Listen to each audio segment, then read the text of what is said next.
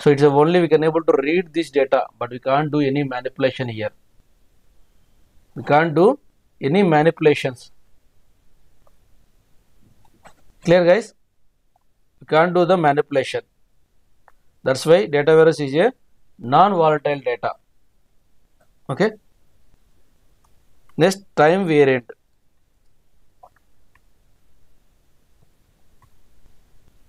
Time variant. So what is meant by time variant?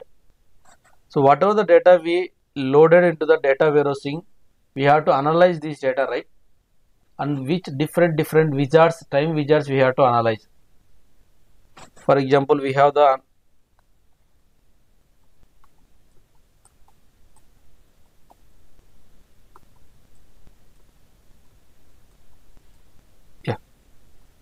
What are the time wizards are there? I am going to explain here.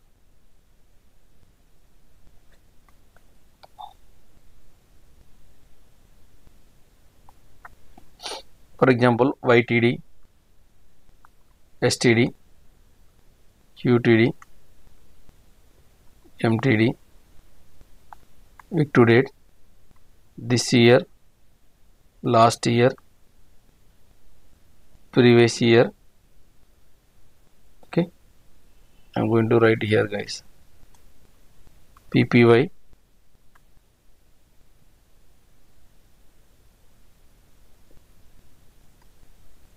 or this week. Last week. Like that there are different kind of time wizards.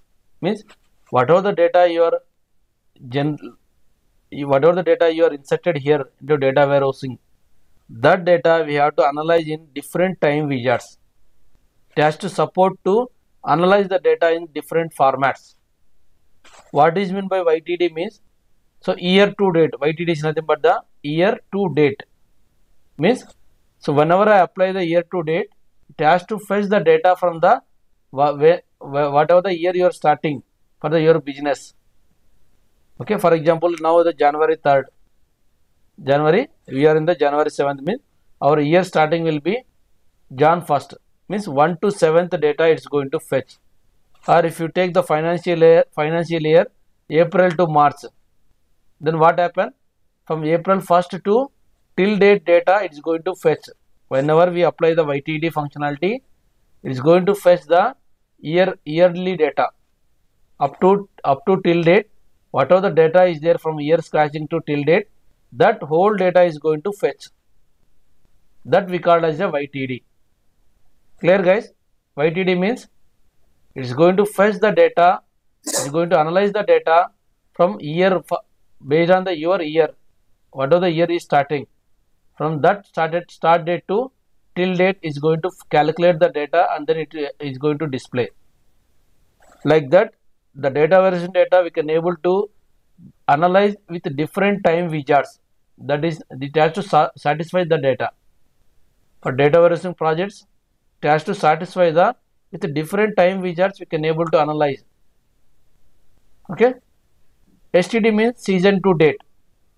Means in our India we call as a half year. First half, second half we called. But in the US, UK they call as a seasons. Spring season and fall season. They call as a spring and fall. Okay. In our India will be half year, first half, second half. Now we are in the first half right now. Okay. So it will fetch the wherever the data is there, season started, half year start from that date onwards is going to fetch into the till now whatever the day you are selecting from that day it is going to select for example i selected the december 10th december 10th 2021 now tell me guys so year to date means what is going to fetch data? What data is going to fetch on year to date? From Jan 1st for year you are starting the year Jan 1st from Jan 1st to or we will write here 01 01 2021 to What is the date? December 10, 2000, Yeah, 10, December 10, 12, 2021. 2021. So this data is going to fetch. If you apply the year to date,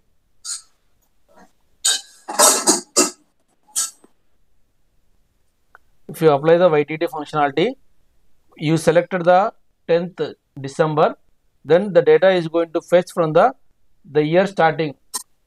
Okay, based on the year starting, it's going to fetch up to 10 12 2021. Okay, the interview point of view, they're going to ask this question, guys.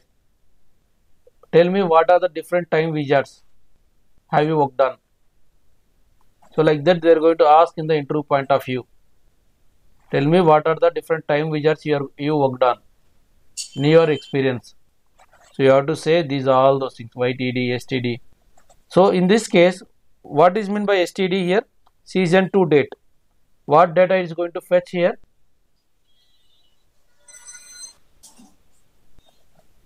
So, whenever I Compare of the so what is the date?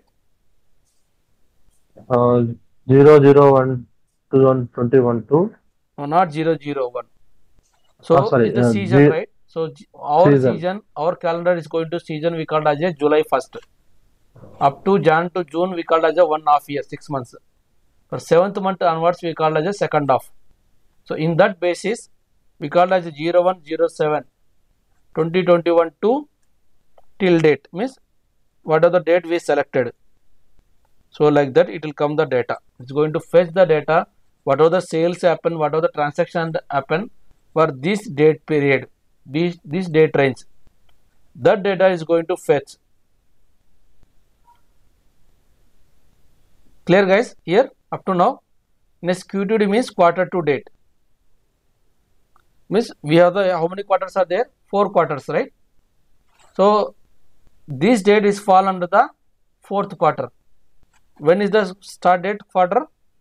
So it will be on october right? October. October. 01 10 2021 to till date. Till date means 10 12 2021 which are the date we selected.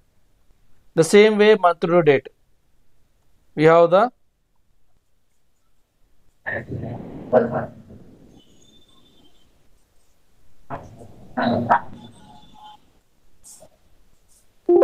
yeah. So month to date means so 12th month. So 01 12 2021 to 10 12 2021 those 10 days data is going to fetch. And week to dates means we have how many weeks are there? 52 or 53 weeks are there in a year. So it will fall under the 10 12 which are fall under which week that week data is going to start so 10 12 when it's going to fall. So this is friday. Maybe if you take the your week start date will be monday. Then it fetch the data 6 7 8 9 10 this 5 days data is going to fetch. Or if you sunday your start date then 5 6 7 8 9 10 this 6 days data is going to fetch. So that is the with different time wizards guys it has to satisfy to analyze the data data warehousing data we can able to analyze within the different time wizards okay? These properties it has to satisfy the for data warehousing project. If, if it's not satisfying any one of the data it's not satisfying any one of the property characteristics then we can't call as this project is a data warehousing project. Clear guys so data warehousing project the characteristics are subject oriented integrated non volatile and time variant. Subject oriented is nothing but the it is focusing on a single functionality or it's categorizing the same kind of data it's going to categorizing.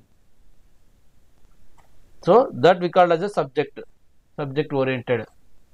Integrated means it has to integrate the data multiple sources that is homogeneous or heterogeneous source source systems into one unique system. That functionality has it has to satisfy. Non-volatile means once data entered into the data warehousing we can't do any manipulations. It's a only read only data. Okay? Next time variant. So time variant is nothing but the so whatever the data is we're going to load into the data warehousing we have to analyze into different time wizards. It has to satisfy to analyze the different time wizards like YTD, QTD, STD, MTD,